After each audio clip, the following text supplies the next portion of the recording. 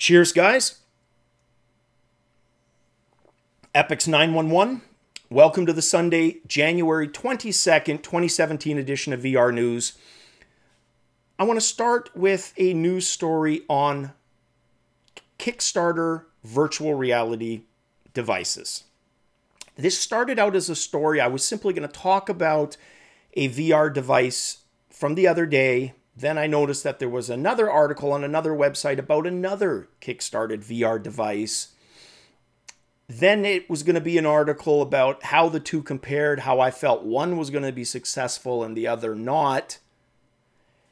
And then it just kind of grew into a whole new story, one about Kickstarter in general, with regards to virtual reality too. And that's kind of what I want to talk about. And for anyone who doesn't know, which probably isn't a lot of people, but you never know, people who don't go around on the internet a lot or surf or any of that, they just may not know.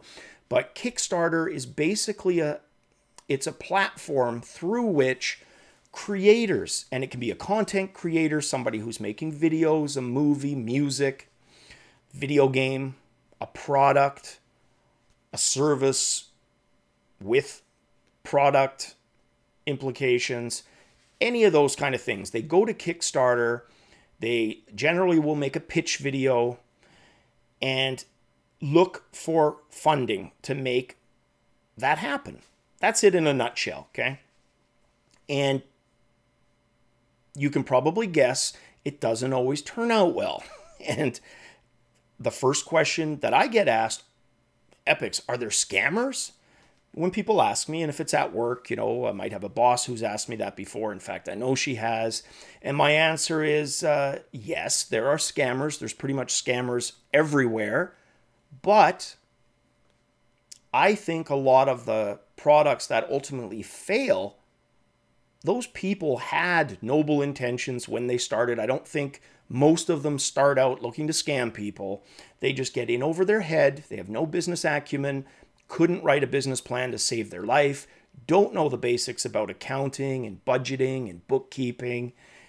They get in over their heads. The human fight or flight reflex kicks in. Precious few choose to fight, many flee, and the people who backed that are left high and dry. There are examples where somebody chooses to fight, and you may still despise him for it, but at least Neal Stephenson recognized, and he did a Kickstarter, he's a popular writer, he was going to do a sword fighting game, realized he was in over his head, and basically told his backers. Now, apparently, some funds were returned, not all, because a lot of it was consumed, but at least he had the balls to come forward and acknowledge that. A lot don't. So there's a few Kickstarters that I'm going to put up here. My rules personally for Kickstarters, and why don't we start with a picture of just kind of what I've backed. And it's not foolproof by any means, but it just shows you how it's going to vary from person to person. But my criteria is simply I don't, it's not as important what it is What's more important to me is that the person has a proven track record in bringing something like this to market. Now, sometimes it's a new innovation or idea, and of course, they would have had no practical experience. It's from those people that I expect a damn good pitch with a business plan, with some kind of supply chain understanding, just something. Most of these people don't have that. They never convey any of that. And as a result, I ignore them. So the ones that I backed tend to be video games. Half of the list, Brian Fargo, who is president inXile, Gaming Studios, was president of Interplay. He's got experience bringing games from concept to market. There's an indie company that I supported because, again, they've brought games from concept to market. And for all these that I've backed, their supply chain plans extend beyond the Kickstarter. They've got agreements in place with Steam, etc. So those are the ones that I support, and I tend to have a pretty good track record with them as a result of that. It also, though, really narrows the type of projects that I'll support, right? So those are kind of my rules. So here's the six real quick. We've got the TwoEyes VR 360 camera. If you know a little bit about how vision works in humans, probably not the best idea from a technical point of view. I would not back this myself. Not to say others shouldn't, but if you listen to some of my other criteria about supply chain models and retail alliances and business plans, these guys conveyed none of that in their pitch video. Nothing to give me confidence. This next one is basically called VRGE VR Dock. It's basically a charging station. It's a block of plastic on a block of wood with two USB cables threaded into it. If that sounds like I'm being negative, I'm actually being complimentary because compared to the first one and all the rest of the products I'm going to mention here, it's the one that stands the best chance of actually making it to market. They've thought it through, there's no complicated electronics, none of that. It's a block of wood on a block of plastic with two USB cables threaded through it, right? Doesn't mean I like it, but if somebody were to ask me, what do you think, Epyx? Are my chances of, of getting this product good? I would say of the five, the best. The third one is called the Virtual 360 Fit. We've talked about this before in the past. Those of you like me who sweat profusely, not a good idea at all. Then you've got people with motion sickness who would probably be sweating and vomiting. Also, not a good idea. But for everyone like me or like the motion sickness person, you know, there are people who are going to be able to do this. One of the viewers, Chris, that I chat with frequently, you know, does daily Audioshield, for example. It's a great form of cardio for him, but he probably doesn't sweat by the gallon liter like I do, right? So, yeah, that's another product I just don't see it working because of its singular focus on fitness and VR. I just think that's this early in the game with this type of bulky HMD, a losing proposition. Now, the next two that I'm going to mention have both already failed, but you'll probably get a good idea of why. The first one's called Gloveone. And when I talk about the fight or flight instinct, these guys fled. They stopped radio communication, tucked tail between legs, and ran away. Didn't have the nards to tell people they screwed up. And that's why, like I said, it doesn't make Stephenson well, it does. It makes him better in my books because at least he manned up, womaned up, whatever you want to call it. He was able to tell people.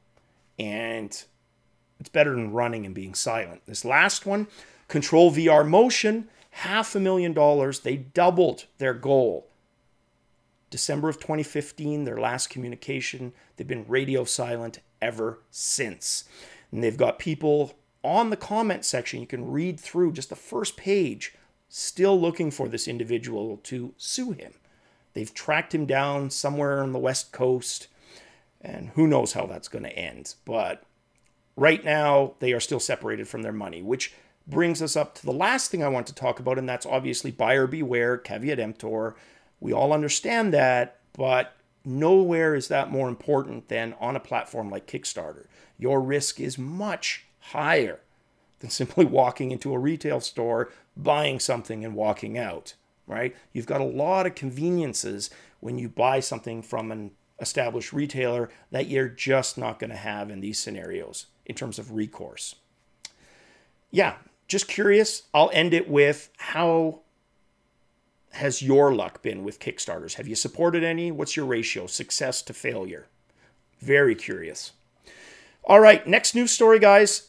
YouTube virtual reality wants to provide tools to make things that even they never thought about a reality.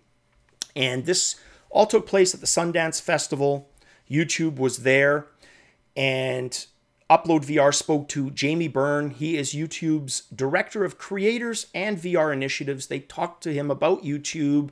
He mentioned the piece that I talked about the other day with PlayStation 4 launching there but also talked about extending the functionality beyond 360. Because let's face it, the headline reads VR, but really what they're talking about is 360 degree video.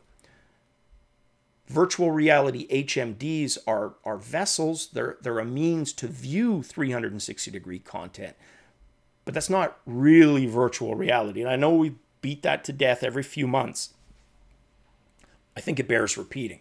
So, one of the things that they want to do, what Jamie Burns says YouTube wants to do, is extend that into actual tools for actual virtual reality, not just 360 degree video plugins. So, very cool. But besides that, completely devoid of any examples. But it will be interesting to see if they do have tools currently in development hearing about them maybe E3, maybe at some of the other events this year, at least to provide us with an idea of the direction, roadmap YouTube is headed in with regards to virtual reality. So check that out. Uh, like I said, that was an interview at Sundance, link below. Now, this next story Vive Tracker bringing easier virtual reality hacking. I thought this was a neat article. It was on Hackaday. And what I liked about it is it shows the response from your typical hacker community types to a device and how that contrasts when the device is from a company that's fairly open and transparent about that technology versus how they tend to treat the technology of those who don't follow suit. Now, I'm in no way suggesting companies have to be open and transparent. My personal opinion, I think they're going to run better that way. I think it's better for the community at large to have a company that supports being open as opposed to completely closed. But at the end of the day, that's still their business right, right? We can vote with our wallets and not choose to support that or choose to support it, whichever. But um, yeah, it was interesting because they were talking about the Vive tracker in this article. You can see that at the link, how even the engineers were helpful on reverse engineering aspects of the tracker, which I thought was cool because there's some other companies, hell would freeze over before you would see, for example, a Sony engineer discussing reverse engineering with anybody. So, very neat article. And hopefully, that leads to the real kind of innovation in VR that, that I think we're looking for, that hasn't really arrived en masse yet. And a perfect example of that is Doom 3 BFG. Easily in my top four virtual reality game slash experience since launch of the devices last year. And it was just a hobbyist homebrew side project, cobbled together and released. Those types of cool technologies, you know, inventions, whatever you want to call them, are what I think comes out of open architecture. Once it doesn't have to be hackers, but really hobbyist enthusiasts with skill get their hands on this, all kinds of cool things can happen. So, very, very neat article just to give you some, you know, pause to think about how that differs from a closed model. Next news story. This one is more of a art roundup. It's also the last story for today. Uh, I was going to talk about this yesterday. This is some art that Upload VR got from Sketchfab. Now, Sketchfab is a way to display 3D model of things created in other products. There are some really cool examples here on Sketchfab. There's Hulk Smash, which was the original one that caught my eye. Go to this link. You can literally load them in your browser and manipulate them. The Hulk one is cool. It is very, very cool. That was done with Oculus Medium. The next one is Fishing Boat from Tilt Brush. Also very cool, very detailed model on that one. Third one is Angry Fox from Quillustration, which uh, just a charming cartoon look. You could see that as a either a web comic or a series of animated shorts. I think that Fox character looks amazing. And then the fourth one that they show is Spaceship from Gravity Sketch which also looks very detailed and cool. Anyways, I then decided to go to Sketchfab and take a look for myself and seriously do that. Go there, look up the uh, editor favorites, look up the community favorites, and you're going to see some pretty cool stuff. Two that stood out for me Spacewalk, which is freaking amazing looking, Biomechanical Whale, also very cool looking. But the one that really got me excited was from or- Orline Martel. It's basically a replica of Mirror's Edge, the game Apartment, reconstructed to practice his low polygon baking skills, which I thought was really cool. Some awesome artwork there. I know I, sh- I shared some of the viewer stuff last week. Uh, like that, just very cool and interesting to look at for just seeing a whole different side of VR, the artistic side. All right, guys, that is it for VR news on this Sunday. Hope you guys have an awesome work week. I know it's here again, but there you go. Cheers, as always.